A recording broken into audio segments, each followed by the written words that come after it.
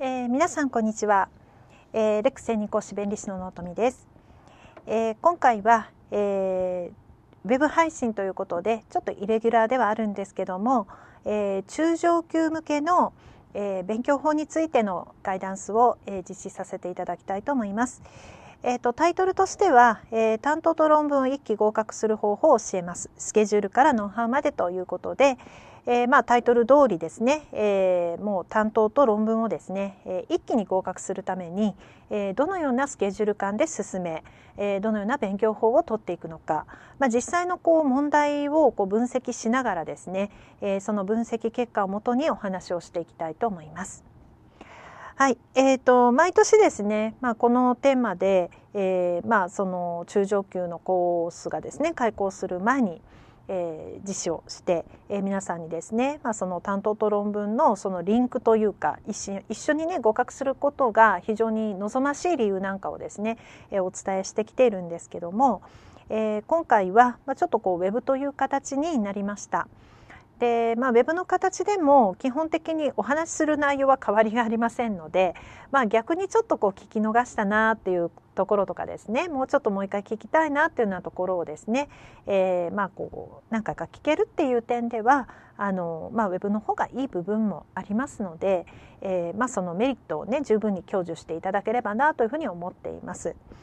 でまず、えー、お手元のレジュメをもとに、えー、進めていこうかなというふうに思っているんですけども、えー、担当試験と論文試験というのは、まあ、皆さんがあの扱う試験科目としてのね科目数にも差がありますよね。えー、担当試験だと7科目で、えー、いわゆるその論文試験と、まあ、口実試験もそうですけども、まあ、3科目ですよね、まあ、特実を1科目としたら衣装商標の3科目になりますよね。で、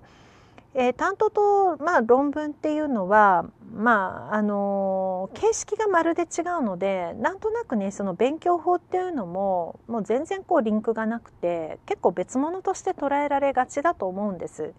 まあ、担当試験は、まあ、皆さんご存知の通りですね、えーまあ、枝別なのかそれとも、まあ、ご支度一なのかっていうところの違いはありますけども、えーまあ、いわゆるその、ね、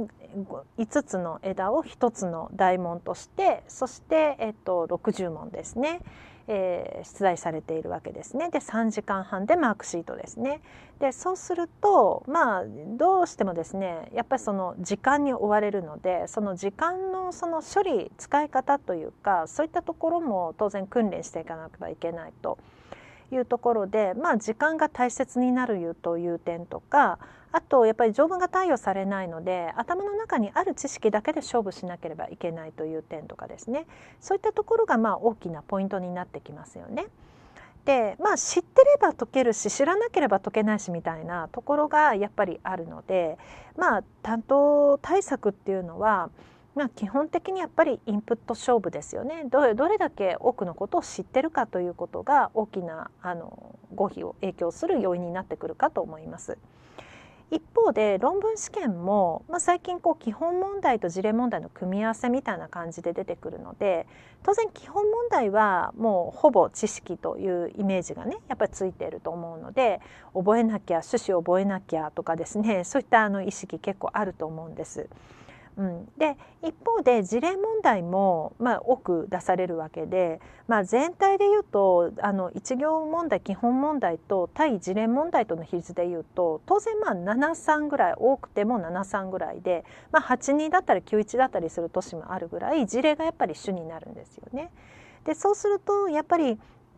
あの覚える覚えないっていうところよりも皆さんがやっぱり気にされるのが結構解放力なんですね。その知ってる知ってないっていうところ以外に、えー、その事例を処理していくための力ですよね。そういったところあとそれをこう答案に、えー、書くにあたっての組み立てだったりとか、まあ、論じていくための表現だったりとかそういったところを結構気にされるかと思います。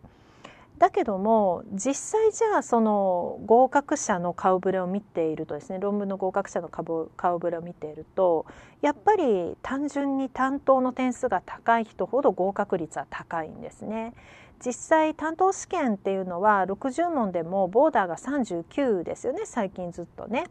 だけどもじゃあ39で論文受かっていくかというとなかなか実際難しくてやっぱり43点以上理想的には45点を突破する。で45点といってもいわゆる上4法というその論文でも使っていく科目と下3法という担当でしか使っていかない科目とかありますから上4法の方で、まあ、大体8割ぐらいですね、まあ、32点ですよね。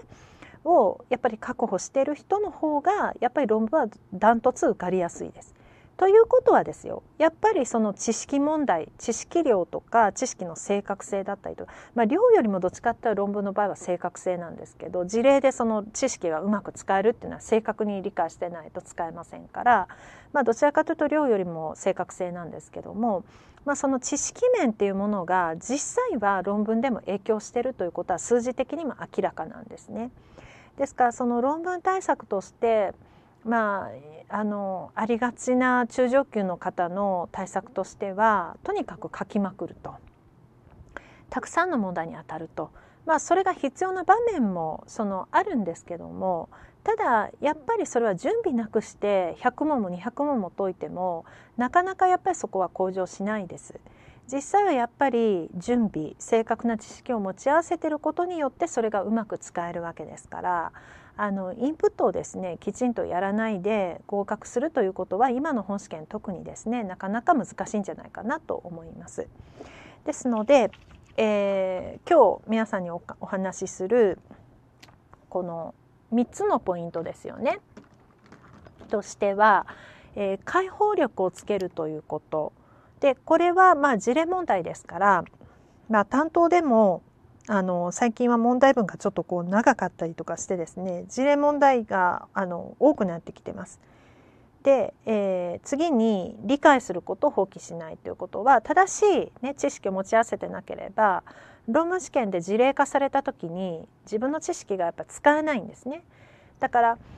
覚えただけで全然こう使えない知識をいっぱい持ってるのはイメージとしては使い方を知らない武器をいっぱい持って戦いに行くようなものなんですよ。でそれってお荷物でしか実際ないんですよね重たくて。だったら自由自在に使えるナイフなりですね何かこう武器をですね一つ持って戦いに出た方がよっぽど勝てるチャンスっていうのはあるわけです。ですから自分がそのね戦いに出る時にその知識という武器は必ず使える状態にして持っていくっていうこととで使えその立ちねあの立ち振る舞いがねやっぱりあの重要になってきますから運動神経の悪いですね私みたいな人が、ね、いくらそのすごくねあの有料なあのいい武器をね持ってても、ね、使う人の運動神経が悪ければ体力がなければ当然やっぱ負けてしまうわけなんですね。ですから皆さん自身がやっぱり健康で、ね、きちんとこう体力も持ち合わせてる状態でなければうまく戦えないということがありますので、えー、きちんとした理解をするということでその理解した知識をあの持っていくということですねこれがまあ2つ目のポイントですね。で3つ目はあの判例がねやっぱり結構出ることが多いです。で判例っていうのはあの勉強法が実はやっぱり難しいんですけどもそのまんまの事案で出るというよりもやっぱりちょっと簡素化したりとかアレンジしたりとかして判例は出てきますからぱり何がこの判例の争点になっていて射程っていうのは実際その判例で示された要件だったりとか、えっと、理由の部分だったりとかするんですね。でこの要件や理由が合わないのに判例と同じ結論には導けないです。ですから逆に言うと要件が合うこと理由が当てはまることっていうのが判例と同じ事案であり同じ結論が導き出せるための範囲ということになるのでまあ、そういう意味で射程というふうな言い方をしますね。でそれがあのちゃんと理解できてなければ判例はなかなか実は難しいんだよっていうことですね。でこれは担当でも論文でも同じなので、まあ、一期合格する学習のポイントとしてまずこの3つですよね内容的にはこの3つを捉えていくということをお話ししていきたいと思います。えっと、まずですね、えー、解放力をつけるということなんですけども、えー、ここにですねある年の担当本誌の問題を、えー、載せてあるかと思います。で、えー、例えばうんこの問題のですね、えー、7番7番のところなんですけども、えっと、特許出願 A と B は項によってなされるものでありかつ出願の日から1年以内に B がされるものとするとで、ままたっていろいろこう問題文って柱書きでいろんなことを除外してあの答えが割れないようにするんですけども、えー、これ説問1ですよね。えー、甲が出願 A を基礎として優先権を主張し特許出願 B をした後に特許出願 B の出願日から1年以内に特許出願 B のみを基礎として優先権を主張し第3の特許出願をすることは不適法とはされておらず第3の特許出願については特許出願 B において新たに追加された事項についてのみ優先権主張の効果が認められると。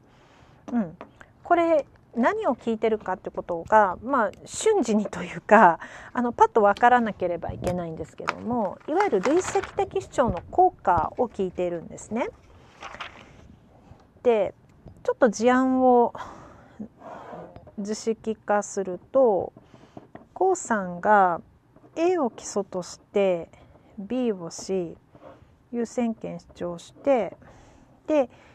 B のみを主張してえっと、第3って書いてるんで、まあ、ちょっと第3って書きますけどこういう感じの優先権の主張ですよね。で、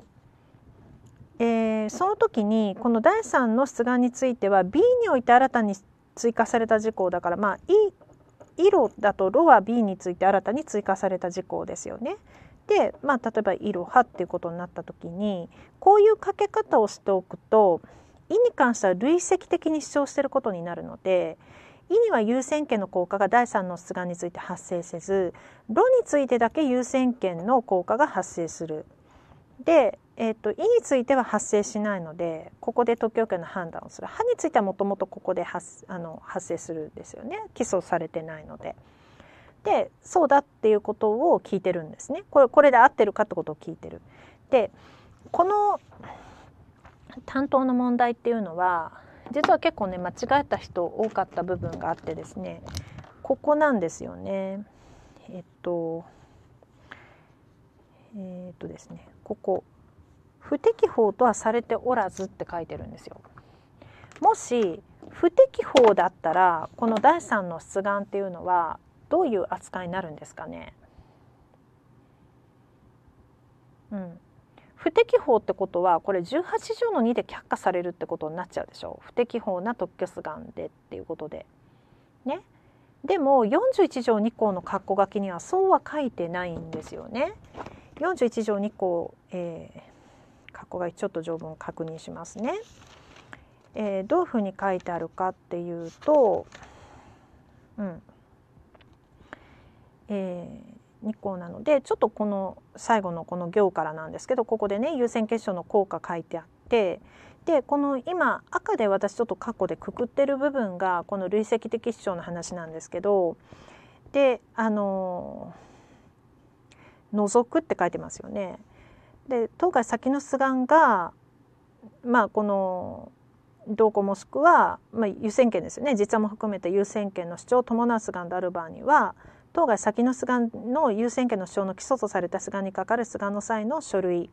に記載された発明を除くだからだからまあこれで言うとここに記載された発明はこの第この第3の出願の優先権の利益が得られる発明から除くと言ってるんですよ。で除くと言っているだけでこの出願全体が不適法な出願であの18条の2の却下になるとは書いてないですよね。ましてやこの場合だと炉に関しては問題なく優先権の利益が得られるはずなのに「い」がこういうふうに累積することで、まあ、却下になるっていうのは、まあ、いわゆる不合理ですよね。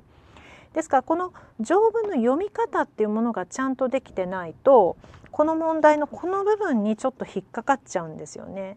不適法じゃないかと思った人が結構いるらしいんですよ。いあの言ったんですよね。でその方たちはいや優先累積的主張って認められないですよねっておっしゃるんですね。でも41条2項括弧書きは累積的主張を認めないと言ってるわけではなくて累積的主張した時の効果として累積した発明については優先権の利益を認めないって言ってるだけでしょ。主張ができないって言ってるのと効果を認めないってことは全然違うからね。ですからこれ実際はこの括弧書きのその何て言うのかな理解ですよねこれを聞いたということになるんです。でこの辺もだから担当試験でもちゃんと理解してなければ当然やっぱりねあの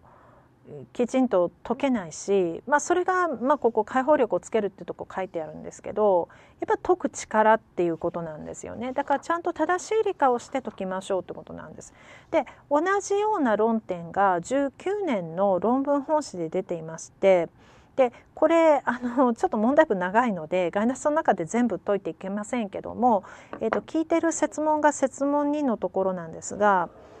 あの肉の2の拒絶量有するか否かっていうふうに書いてあるんですけど、えっと、発明ごとに、まあ、検討してくださいですよね「い」および「ろ」だからだから「い」について「ろ」についてって書いてあるんですが「い」についてはパリ優先の話で、えっと、登録要件は大国判断基準時になりますよと。で B3 は B の B2 のみを基礎とする優先権者を伴うから優先権の累積的主張主張は認められずというよりも正確には累積的主張の効果が認められずの方がもっと正確ですよね。は「意については B3 時で登録要件判断されると。でよって、まあ、拒絶されることはないっていうことで一応まあここでその累積的視を聞いた問題が出ているんですけど同じ論点が結局こうやって担当試験でも論文試験でも問われるんですね。で問題文こうすごい長く見えるんですけど実際これはまあ事例としていろんなことを聞くから論点他にも聞くから長くなってるだけで国有の問題としてはこれぐらいな感じでまあちょっと事案を一部使っていく感じなんですよね。ですから言いたいのは結局同じ論点でも担当でも出るし論文でも出ると。でその、まあ、ベースになるのは両方ともやっぱり正しい知識で解放していかなければいけないという力を求められるので、まあ、特にその論文っぽい問題がこうやって担当で出るっていうことですよね。だから両方ともの勉強で共通する勉強法としてまず解放力をつけましょうっていうことが一つポイントになるよっていうことです。で次に、えっと、2つ目のポイントとしては、えっと、理解することを放棄しないというのがあるんですけどこれね、えー、例えば担当本誌で商標の問題ですね表彰のみを表示した店頭の看板であってもその店舗の状況等からして特定の商品駅務を広告していることが明らかであると判断される場合には商標の使用となることがあるって書いてるんです。でこれ2乗参考8号という商標の条文を聞いてる問題なんですけど条文を見るとですねこんな感じで書いてあって商品もしくは役務に関する広告価格表もしくは取引書類に表彰付して展示しもしくはまあまあうんぬんですよね。で関するっていうところのちゃんとした理解ができてるかどうかっていうことなんですけど広告物って表彰だけじゃなくてただ単に表彰だけではなくて商品や駅分との関係がないと8号の使用とは認められないよっていう論点を聞いてるんですね。例えばレックが、ね、あの駅前で例えばクリアファイルにレクのパンフレットを入れてなんかこう宣伝したいと。でその、えー、クリアファイルなり、まあ、パンフレまあ、パンフレットでもいいですけどもあのそういうものにですねレックとしか書いてないと。で要は何屋さんかわからないと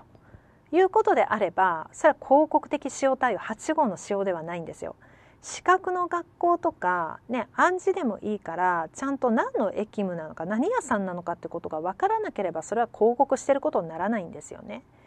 だからここそうなんですけど店舗の状況等からして、ね、ちゃんと広告してることが明らかで判断と判断されるわけなのでこれは8号だよね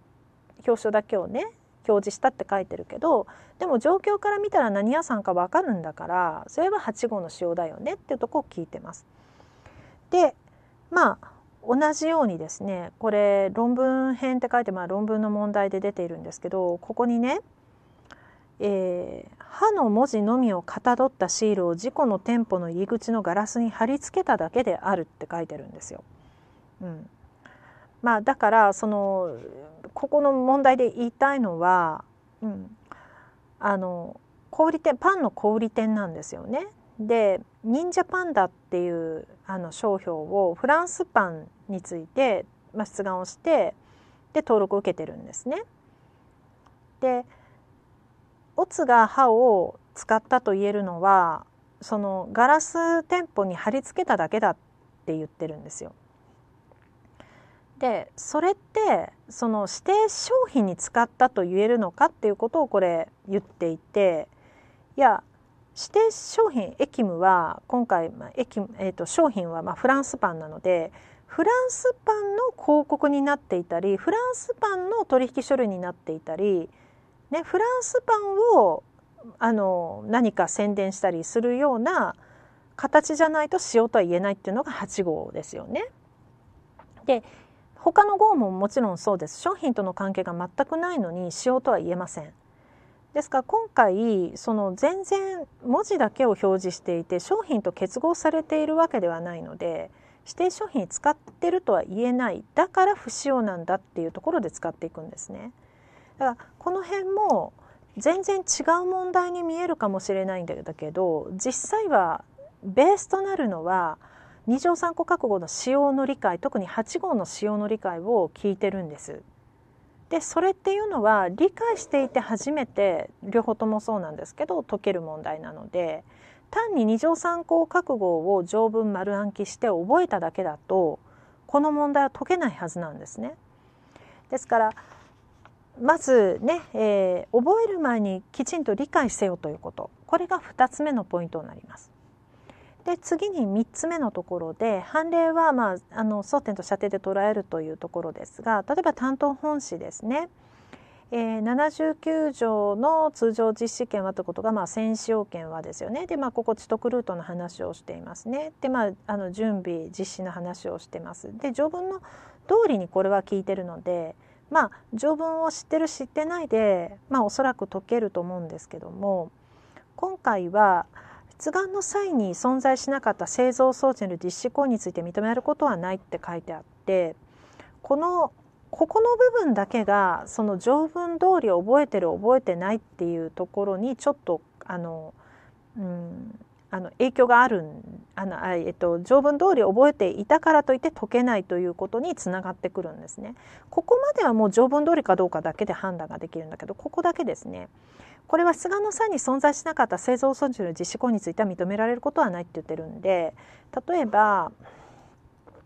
出願しているものが「い」だったとしますよね。でこの出願前から例えば準備とか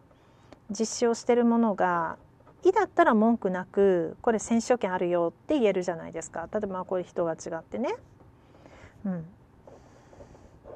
だけどこの後「い」をですねちょっと変更して「い」ダッシュにして実施を今してるってことになると出願の際現に「い」ダッシュを実施準備していたわけじゃないので「い」ダッシュに関してダイレクトに選手権があるとは言えないケースなんですよ。だけども戦勝権者がこれ発明としては同じ範囲技術的思想としては同じ範囲に入るもので具体的な実施形式を変更しただけのものであればこれその中での実施形式の変更は認められるよねっていう論点がこのウォーキングビームロ事件の中ではあるんですよねここなんですね。これに具現された具体的に表された、ね、ものだけじゃなくてそれと同一性を失わない範囲内において変更した実施形式にも及ぶと。ここがまあいわゆる判例で言ってるとこの射程なんですよ。発明と同一性を失わないかどうか。だから実際はわからないですよ。そのここで存在しなかったイダッシュがこの意と同一性を失わない範囲かどうかはわからないけれどもでも認められることはないっていうのは少なくとも言い過ぎですよね。同じ発明の範囲であれば認められるわけだからだからこの枝は×なんですね。で同じ論点を聞いたのが論文試験でこれはあのコップの問題なんですけどもあのまあ差し止めを受けていてで、まあ、差し止めは認められないと主張することができるかっていう中でここなんですよね。えー、っとどこだったかなここですね。A1 に関しては確かに要件を満たしますとただ A2 に関しては実際菅の際現に準備実施ができていたものではないのでだからまあ選手要件として実施形式の変更が認められるか問題となると。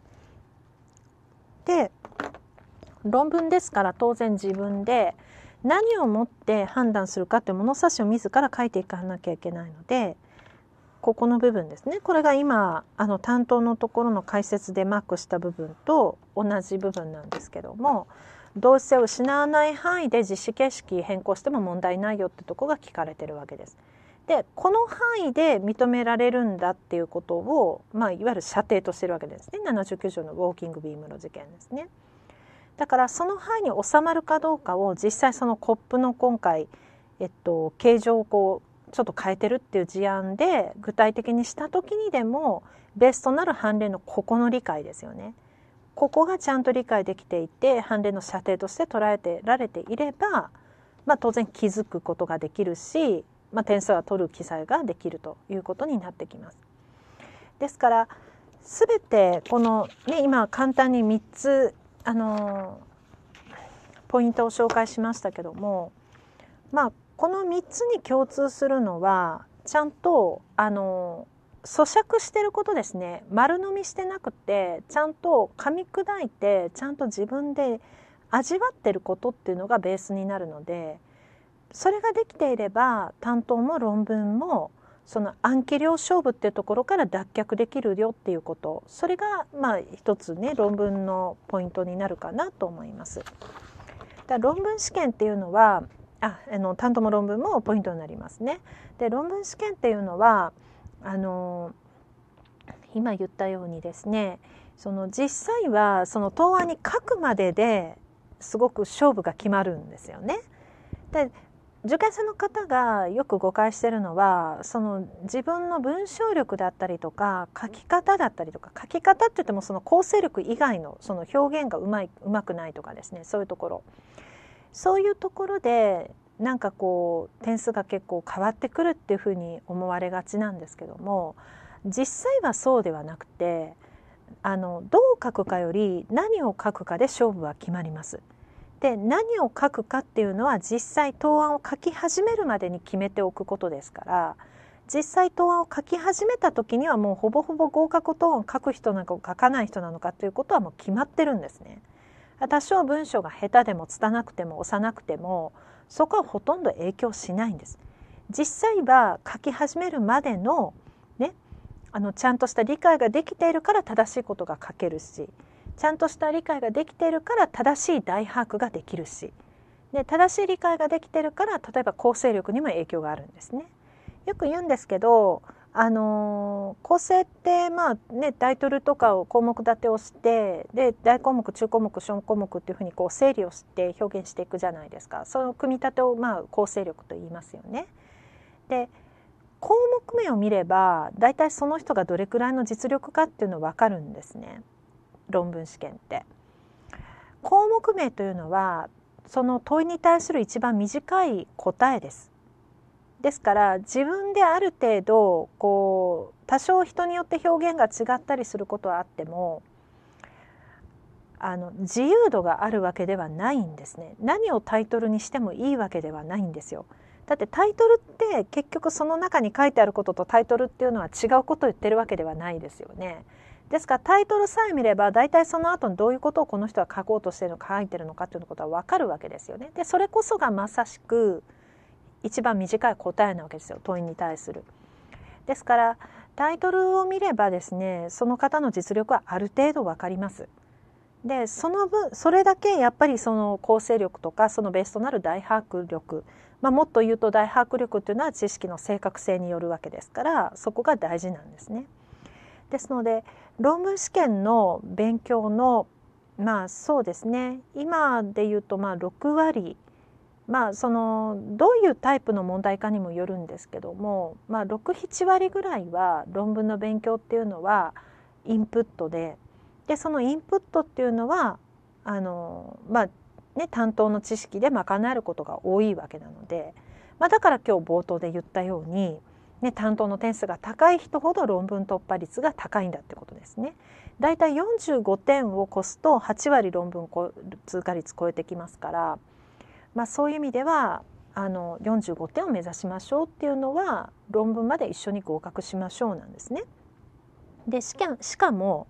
あの担当の知識っていうのはやっぱり担当試験を受けた年が一番ピークですよね。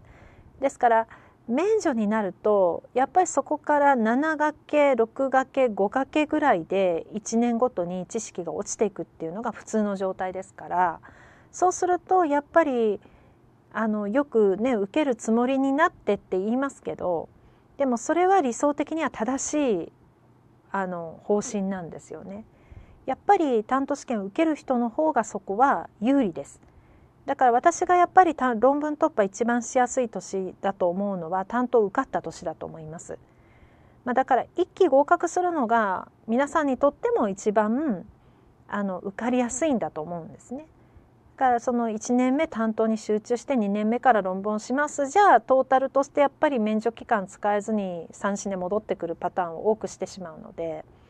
なので単論というのはそういう問題ではない。因果関係が非常に強い試験なのでなのでやっぱり担当せあの受かるようにあの受かるべくして受からなきゃダメですよもちろん担当もだから受かり方が大事です。私よく38点で落ちた人と39点で担当突破した人だとその人の担当合格っていうその目の前の試験だけではなくて最終合格ってことを考えた時に少なくとも論文合格ってことを考えた時にはどっちがラッキーか分かんないよって言ってます。でむしろ38で落ちた人の方が最終合格は早いかもしれないですね。だって39点で受かってもその年の論文はほぼほぼ難しいですよやっぱり。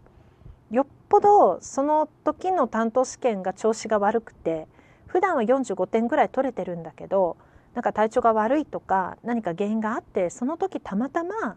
で39ボーダーで受かっちゃいましたと。いう人だったら別ですよもちろんね真の実力が45点ぐらいあるんであればそうじゃなくてやっぱりギリギリのとこをさまよってるとかあるいはその,、まあ、その時だけ本試験だけラッキーで普段だと到底39に届かなかったのに本試験だとなんか運が良くて39届いちゃったみたいな方だとまあその年の論文は難しいですよ。でそうなるとじゃあ翌年ってなるとさっき言ったように大体まあ放っといたら5掛けぐらいになりますから知識量っていうのは。で50%の知識でとてもじゃないけどだってその年ですらその担当試験受けた年ですら、ね、39持ってた知識ですら受からなかったのにじゃあそれ半分になると20点台20点ぐらいってことでしょう単純に言うと。そんなんで論文受かるわけないのでだから必死にやっぱりメンテナンスしなきゃいけない。でも受かる受ける人と同じ気持ちで頑張りましょうって言われたってねやっぱりそこは なかなか難しいですよねそうは言っても。だから今の受験生の方本当に賢い人はあの担当の講座までは取らなくてもあのスポット的なねあの例えば今実際にいらっしゃるんですけど私のあの担当ゼミに出席されてる方の中であの担当は免除なんですね免除なんだけどもあのもうちょっとリーチかかってきて何が足りないかっていうと、まあ、先生がおっしゃる通りあり担当知識の不足だと思うと。であのそれであの担当のゼミ実際担当免除なのにあの来られてる方いらっしゃいます。であるいはあの一番多いパターンだとあのあれですねゴールデンウィーク道場とか年末の、えっと、実力診断テストがのあのようなものをやる私のあの年末の道場担当系の道場があるんですけどあのレベルチェックテストっていうのをやるんですけどね。その時に年末の段階でどれくらい知識を持ってるかということを確認する道場なんですけどもあのテスト形式のものですね。でそういうのをこうスポット的にやればそんなに費用もかからないので道場ってまあ一つにつき大体1万5 6千円ぐらいですよねでシーズン中やってるような担当の講座だとやっぱり10万円くだらなかったりとかするのでそうするとやっぱりね実際免除なのに受ける気にならないのはもう分かりますよね。ですからスポット的なものであの維持していこうっていう方が今やっぱ増えてきていてでそれは私は正しい方法だと思います。それだけでもやってるとやっぱりだいぶ違いますよね担当受けられる方と同じとは言わなくても、まあ、近いレベルで担当の知識が維持できると思うのでなのでまあよっぽど担当が50点マーク48点7点ぐらいまでで受かったっていうんじゃなければやっぱり翌年の知識不足はあのかなり自分で自覚をしてあのメンテナンス何らかの方法でメンテナンスをするべきかなと思います。で最後にちょっとそのスケジュール感についてお話をしたいと思います。えーと、2021年度の、えっと、いわゆる令和3年度のですねあの論文本誌を受けられるっていうことになるとあ令和3年度の本誌を受けられるっていうことを一応前提にしますのであ2022年向けですね。だから2021年これちょっと実際配信するタイミングが、えー、そうですね。あの5月末ってことになるのでちょっと今年の試験向けのガイダンスじゃないんでね。だからちょっとあの試験日が今年のがあの試験はずれてる。2021年向けはずれてますからちょっと参考にはなりません。あの来年向け2022年度実施のもの試験を一応スケジュール感としてお話をするとえっと今からだと、えー、まずこっからですね年末までそして3末までそして、えっと、ゴールデンウィークでまあ、担当本誌っていう感じになるわけですね区切りとしては。でここから年末までっていうここまではもう一律に担当も論文も一緒に勉強すべきですね。だから担当に絞るとかっていうことがどの人にもないようにすべきです。でまあ、勉強の比率としてはだいたい5050ぐらいでいいと思います。むしろ中上級の方だったら論文の比率をもうちょっと高めてもいいかもしれないですね。で3末まではちょっと担当の勉強を多くして論文の勉強をこう少なくしていくどんどん要は論文をフェードアウトしていくような感じですね。で高くてもやっぱり半分ぐらいああの半分ぐらいですね高くてもね論文が。で担当はもうそれを切らないようにすべきですね。で3末からゴールデンウィークまでは基本的に大きく担当でで論文は本当にまあ少数派ぐらいな感じです。でだから担当の勉強があんまり進んでないんだったらもう3末で論文の勉強終わって担当に切り替えた方がいいタイミングですから大きくやっぱり景気を向けるのは3末かなっていうとこですねだからここでもうほとんどの人はやっぱり担当にこう切り替えていくと思うのでよっぽどまあ担当に自信があって、まあ、前の年の点数が結構ギリギリだったとかね